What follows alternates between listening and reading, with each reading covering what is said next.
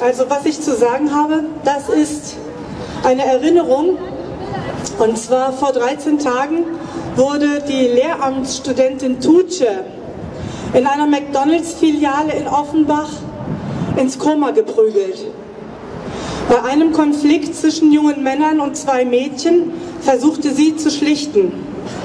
Mutig griff sie ein, zeigte Zivilcourage, doch die wurde ihr zum Verhängnis. Einer der Männer, Männer fing sie ab und schlug sie so heftig, dass sie zu Boden fiel. Bei dem Aufprall verletzte sie ihren Kopf. Tutsche war hirntot.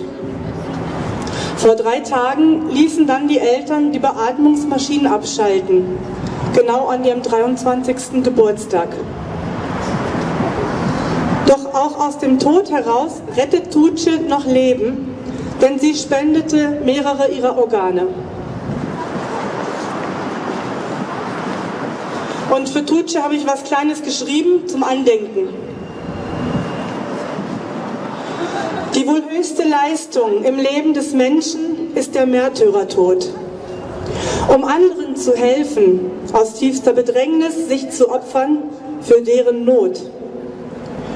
Vor dem Mut dieser Heldin, ihrer Liebe zum Recht, können wir uns nur schweigend verneigen. Tutsche hat uns auch unsere Schwäche gezeigt, doch wir werden wohl feige bleiben. Gott ändert die Lage eines Volkes erst dann, wenn das Volk bereit ist, sich zu ändern. Wir schreien, Ausländer raus! Doch habt ihr gesehen, Helden kommen aus allen Ländern. Welt hat einen edlen Menschen verloren, voller Mut und Empathie. Liebe Tutsche, Unsere Herzen haben verstanden, auf bald. Wir vergessen dich nie. Und ich möchte gerne im Andenken an Tutsche bitten, dass wir heute unsere Schweigeminute für Tutsche machen.